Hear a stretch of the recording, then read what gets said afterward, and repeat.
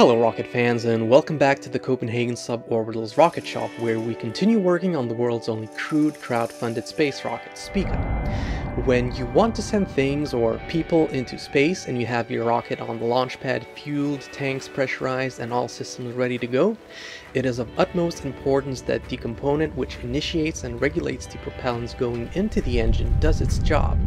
So in today's video we will talk about the culprit of so many hard starts, failed starts, off-nominal mixture ratios as well as rocket and spacecraft delays universally, propellant valves. Oh, and we will test the liquid oxygen valve prototype for our upcoming 100 kilonewton LOX ethanol rocket engine that will power our crewed Spica rocket. So, uh, this will be the uh, main valve and the actuating mechanism for the for the Spica rocket.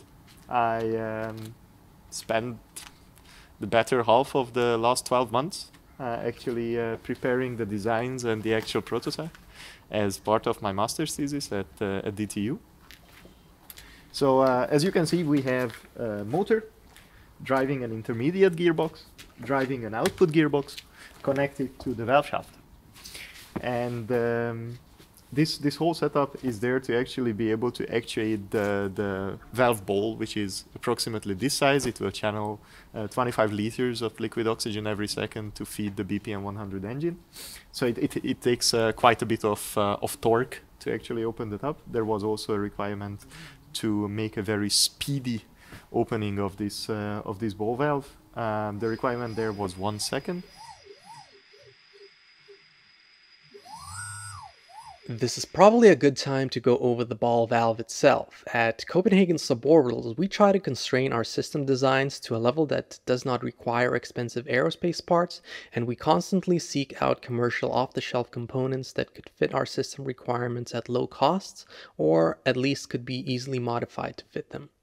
And as you guessed, this is typically the case with our valves as well.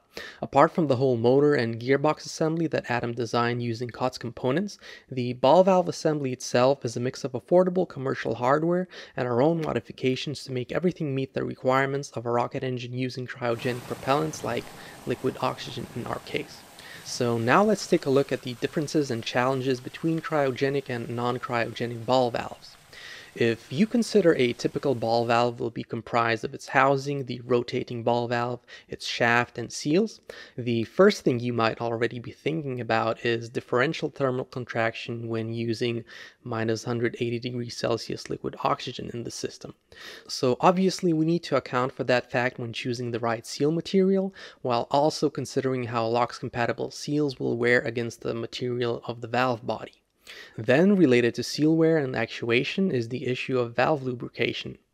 Your off-the-shelf non-cryogenic valve will most likely use lubricants that don't play well in a liquid oxygen environment. And the third challenge is managing liquid oxygen boil-off. If some liquid oxygen remains trapped inside the valve opening once the valve is closed, it can start transitioning into its gaseous state, expanding by a factor of 800 and building up a lot of pressure which can lead to an unscheduled rapid disassembly. And at Copenhagen Suborbitals, we only like scheduled rapid disassemblies, not the unscheduled ones. But going back to the point, to prevent these overpressure events, we need to modify the ball valve for it to have a way to release any excess pressure in its closed position. The fourth challenge, especially on large, quickly actuated valves, can be mechanical strain. Some materials become extremely brittle under cryogenic conditions and with large inertia of the ball valve and high-speed actuation, this could lead to the ball shaft breaking. So this needs to be considered in the valve selection process as well. And finally, when working with any valves in critical applications, especially in a liquid oxygen environment, cleaning and contamination prevention is a major priority. You do not want any contaminants to react with liquid oxygen nor get mechanically stuck in between contacting surfaces, preventing actuation and limiting your propellant flow. So now let's put our gloves on and see how Adam's valve assembly performed its first cryo test.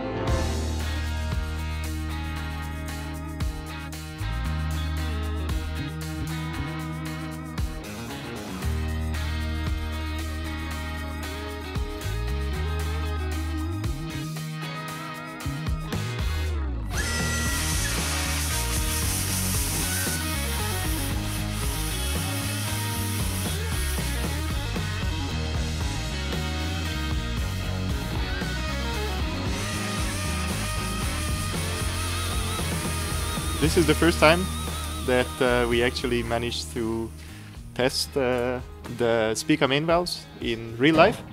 We had some simulation data uh, from uh, from my master thesis.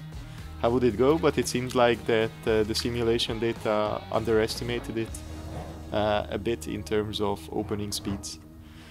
So um, the original requirements were that the main valves should open under one second.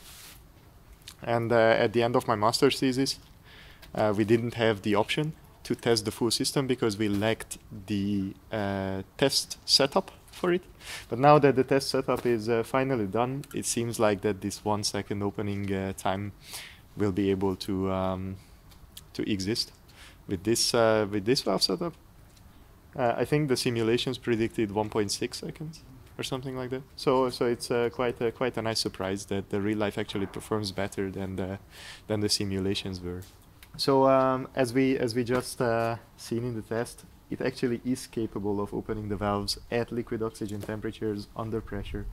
So so it would seem that this setup, which is right now just a prototype, um, after some refinement can find its way into the Spica rocket. But we will we will still see that. Um, actually, it uh, I would like to thank um, who were so kind and provided us the uh, the intermediate gearboxes for for these tests. Uh, it really uh, served a nice purpose. Now, before we go, we know some of you are asking why not use solenoid valves instead. We are actually trying out this concept on our current recruits rocket, where the small diameter plumbing is well suited for these, but for the larger 3 inch diameter propellant lines in the Spica rocket, the ball valves have a few advantages going for them. The most important advantage is that the servomotor controlled ball valve can adjust the valve for any percentage opening where solenoid valves are either open or closed. Plus they are typically lighter compared to solenoid valves and our solution is also quite cheap and reliable. So we hope that answers your question. And lastly, before we go, we are excited to say that we have just started building the first BPM 100 engine as well as its static test stand. We hope you'll find this development process exciting, so subscribe and ring the bell to not miss any of the upcoming updates. Smoke.